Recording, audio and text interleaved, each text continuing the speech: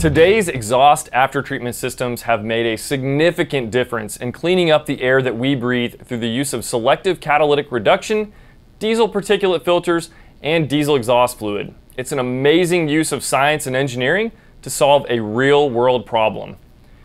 However, like most systems on modern diesel engines, protection against contaminants in the system is critical. And this is why your engine's after-treatment system uses a diesel exhaust fluid filter to capture those harmful particles of debris that can damage or prevent the fluid dosing system from working properly. The most popular diesel exhaust fluid filter available from Fleetguard today is the UF106. The Fleetguard UF106 is most commonly used on all 2017 and newer Cummins X15 heavy-duty engines, along with all 2015 and newer Detroit DD13, DD15, and DD16 applications.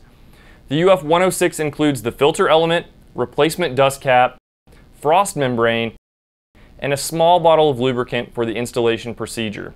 It's recommended that you replace the dust cap and frost membrane during each service event for best protection of the system. As a reminder, diesel exhaust fluid filters are a maintenance item and should be replaced from time to time. Cummins technical service bulletins state that these filters should be serviced annually or every 300,000 miles, whichever comes first. But operators should always consult with their vehicle's OEM guidelines to get the specific recommendations for their application.